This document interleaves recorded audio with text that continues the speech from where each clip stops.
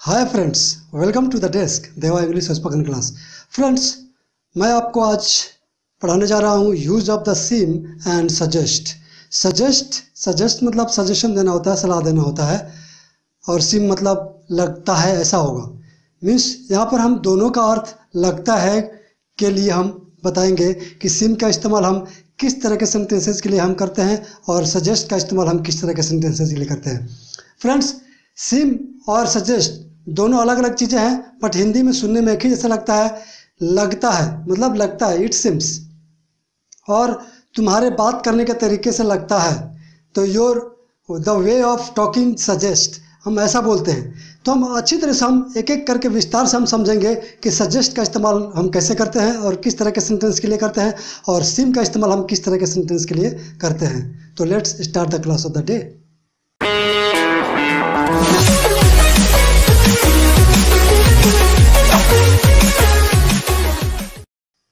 friends seem and suggest यहाँ पर दो तरह के सेंटेंसेस मैंने लिखे हैं, चार ऊपर है, चार नीचे है। ये दोनों अलग अलग हैं, ये ऊपर वाला सजेस्ट है और नीचे वाला सिम है। बट यहाँ पर आपको अच्छी तरह से समझ में आ जाएगा कि सजेस्ट का इस्तेमाल हम कब करते हैं लगता लगती के लिए और हम सिम का इस्तेमाल हम कब करते हैं लगता लगती के लिए। किस तरह के सेंटेंस आते हैं तो। चलिए शुरू करते हैं। कि तुम्हारी फालतू बातों से लगता है कि तुम पागल हो। मीन्स तुम्हारी मतलब जो तुम्हारा बात करने का तरीका है, उससे ऐसा लगता है कि तुम कोई पागल हो। तो हम इसको इंग्लिश में कैसे बनाएँगे? तो इसके लिए हम सजेस्ट का इस्तेमाल करेंगे। Your nonsense your nonsense suggest that you are mad दूसरा है, उसके बात करने के तरीके से लगता है वो अमीर है। Means the way of his talking suggest that he is a rich. ठीक है फ्रेंड्स सजेस्ट का इस्तेमाल हम इस तरीके से करते हैं। मीन्स जैसे बताया ना उसके बात करने के तरीके से लगता है। अगर हम इसी को ऐसा बोलते कि लगता है कि वो अमीर है, सिर्फ़ इतना ही बोलते कि लगता है कि वो अमीर है तो वहाँ पर हम बोलते हैं it seems that he is rich ठीक है फ्रेंड्स समझ में आ रहा ना आपको? अभी अगला सेंटेंस है, उसके चलने के तरीके से लगता है कि वो लंगड़ा है। The way of his working suggest that he is a lame okay friends उसकी आवाज़ से लगा, मानो मैं उससे पहले ही मिल चुका हूँ। उसकी आवाज़ से लगा मतलब हिज वॉइस सजेस्टेड दैट यहाँ पर दैट नहीं लिखने, लिखेंगे, क्योंकि यहाँ पर मानो है। तो मानो के लिए हम एज इफ़ का इस्तेमाल करते हैं। तो his voice suggested as if I have already met him फिर से his voice suggested as if I have already met him okay friends तो अब ये चार सेंटेंस हो गए जिसको मैंने सजेस्ट लगाकर बनाया, आपको बताया। अब ये चार सेंटेंस है। लगता है कि आज बारिश होगी।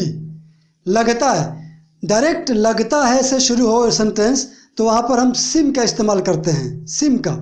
ठीक है फ्रेंड्स यहाँ पर लगता है से शुरू नहीं हो रहा है। लगता है बाद में आ रहा है। इसलिए वहाँ पर हम सिम का इस्तेमाल नहीं कर रहे हैं। सजेस्ट का इस्तेमाल कर रहे हैं। लेकिन ये सारे के सारे सेंटेंस लगता है सही शुरू हो रहा है, इसलिए यहाँ पर हम सिम का इस्तेमाल करेंगे। जब भी आपको ऐसा सेंटेंस मिले जो लगता है से शुरू हो रहा है तो उसका इंग्लिश बनाते वक्त सबसे पहले सिम का इस्तेमाल करना है। तो इसको हम बनाएँगे कैसे?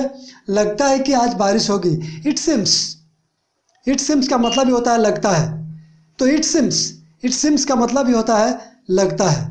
तो it seems it will rain today okay friends ऐसा लगता है कि तुम इस शहर में नए हो। ऐसा लगता है भी हम बोल सकते हैं, और सिर्फ़ लगता है भी बोल सकते हैं। तो ऐसा लगता है, या लगता है कि तुम इस शहर में नए हो। It seems that you are new in this city okay friends अगर इसको हम ऐसा बोलेंगे कि तुम इस शहर में नए लगते हो तो वो हम उस तरह के सेंटेंस हम अलग तरीके से बोलेंगे। अगर हम लगता है से शुरू कर रहे हैं तो इट सिम्स करके बनाएँगे। अगर हम ऐसा बोलेंगे इसको कि तुम इस शहर में नए लगते हो तो you are seem to be new here in this city ऐसा बोलेंगे हम। ओके फ्रेंड्स अभी अगला सेंटेंस है, लगता है कि वो तुम्हें मारेगा। तो it seems that he will beat you okay friends